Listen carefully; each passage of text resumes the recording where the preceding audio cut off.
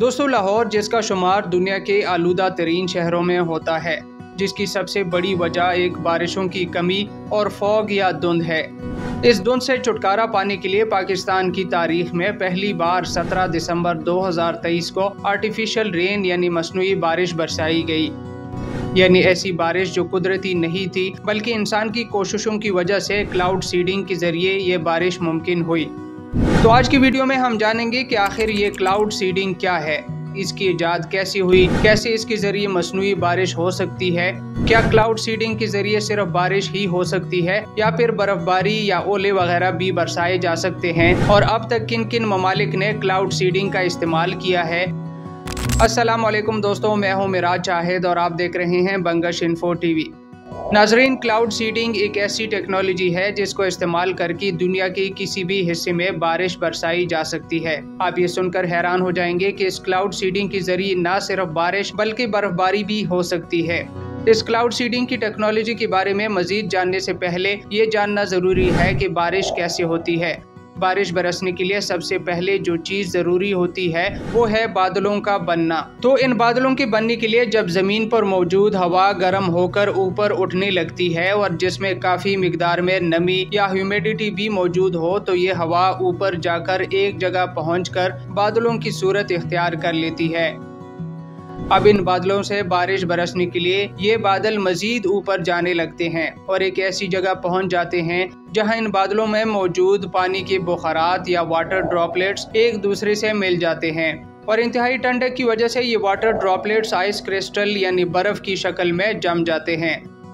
और इतनी तादाद में ये आपस में मिल जाते हैं कि ये बारी होकर मजीद इन बादलों में रह नहीं सकते, जिसकी वजह से ये नीचे ज़मीन पर गिर जाते हैं। अब नीचे गिरते वक्त अगर इस इलाके की हवा ठंडी हो तो वहाँ ये बर्फबारी की सूरत में नीचे गिरते हैं। और अगर हवा गर्म हो तो नीचे ज़मीन पर आते आते ये आइस क्रिस्टल हवा में ही पिघल जाते हैं और ज़मीन पर बारिश की सूरत में गिर जाते हैं। और इस तरीके से बारिश होती है। अब ये बारिश या बर्फबारी हल्की होगी या बहुत ज़्यादा तो ये मुख्तलिफ़ चीज़ों पर डिपेंड करता है।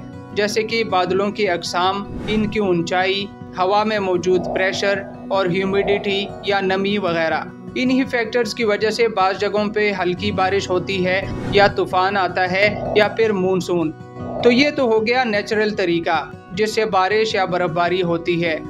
लेकिन अगर कहीं पर बारिश या बर्फबारी नहीं हो रही तो वहाँ मसनू तरीका इस्तेमाल किया जाता है, जिसे क्लाउड सीडिंग कहा जाता है। अगर आप ये समझते हैं कि ये क्लाउड सीडिंग 21वीं सदी में इन्वेंट हुआ तो आप गलत हैं। बल्कि ये टेक्नोलॉजी बाई चांस 1946 में एक अमरीकी साइंटिस्ट डॉक्टर विंसेंट शेफर ने इन्वेंट किया।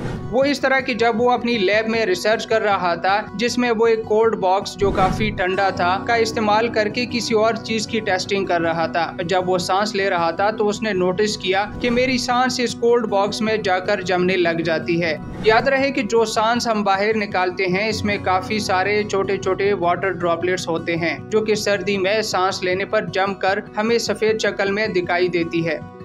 तो डॉक्टर, ने सोचा कि अगर मैं इस बॉक्स को मज़ीद ठंडा बना दूँ तो क्या होगा, जिसके लिए उन्होंने ड्राई आइस का इस्तेमाल किया।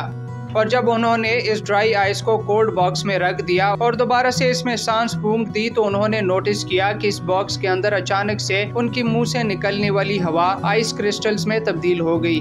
तो उसने ये सोचा कि अगर अचानक से इतना ठंडा टेम्परेचर हो जाए तो वाटर वेपर बड़ी जल्दी आइस क्रिस्टल्स में बदल जाएँगे।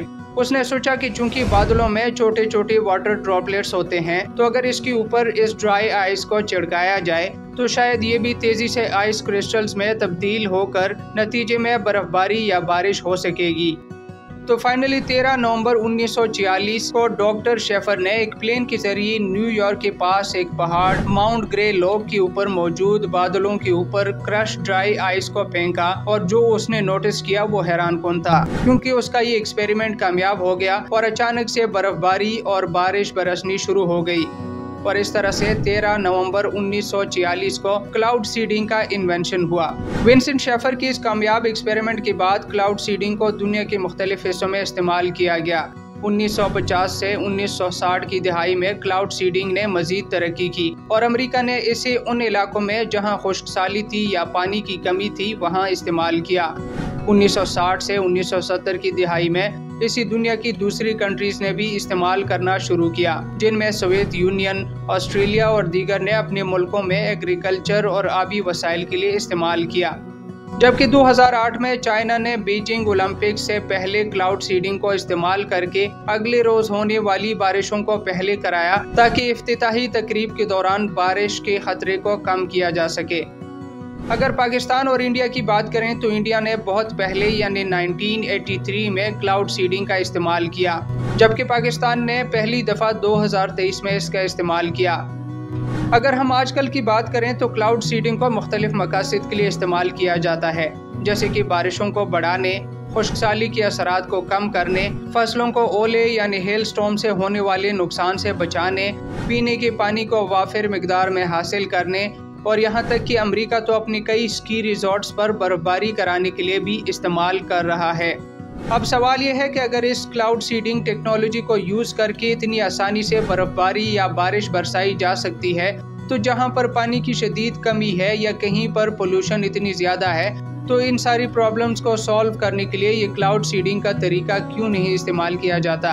लेकिन कहते हैं ना कि जिस काम में कुदरत की मर्ज़ी हो, वही हो सकता है। तो इस क्लाउड सीडिंग से बारिश बरसाने के लिए भी कुदरत की मंजूरी की ज़रूरत होती है। तो इस क्लाउड सीडिंग की कामयाब होने के लिए काफ़ी चीज़ों की ज़रूरत होती है, जिनके बगैर मसनू बारिश बरसाना नामुमकिन है। जिसमें सबसे पहला ये है कि जिस जगह क्लाउड सीडिंग करानी हो, वहाँ कम अज़ कम 40 फ़ीसद बादल मौजूद हों। और हवा में कम अज़ कम 70 फ़ीसद नमी, यानी 70 परसेंट ह्यूमिडिटी होना ज़रूरी है। और जब तक ये कंडीशंस मुकम्मल ना हो तो मसनू बारिश का तजुर्बा कामयाब नहीं हो सकता। तो दोस्तों, उम्मीद है कि इस वीडियो से काफ़ी कुछ जान गए होंगे।